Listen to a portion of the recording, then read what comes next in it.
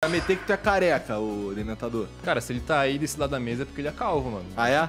Acho que deve ser, mano. Ele tem calvície, mano. Manda aí, manda aí aqui a mãozinha assim, a criança. Deixa eu ver. Não, a criança tá cabeludão. Fala aí, ó, qual foi? Deixa eu ver o cabelinho.